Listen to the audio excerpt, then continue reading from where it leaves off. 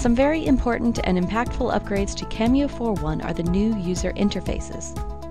CAMIO Central is one centralized place for users to access any CAMIO tools or applications. From a single memorable launch page, users can change admin settings, access installers or help, or contact ChyronHego support. Additionally, users can use this as their starting point to get to the associated CAMIO applications of Asset Manager or LUCI quickly and easily. The CAMIO Admin is a new, clearer, more expansive toolset for configuring CAMIO.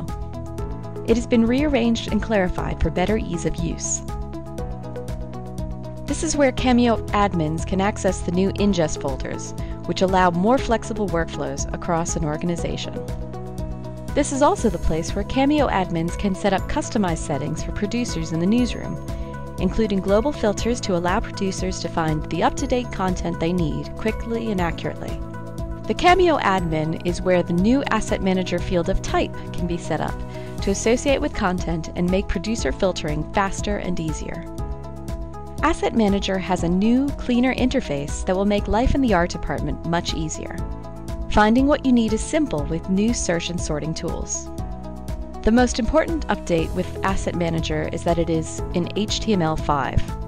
This is very important because it now can be used on any operating system, including the art department's workhorse, Macs.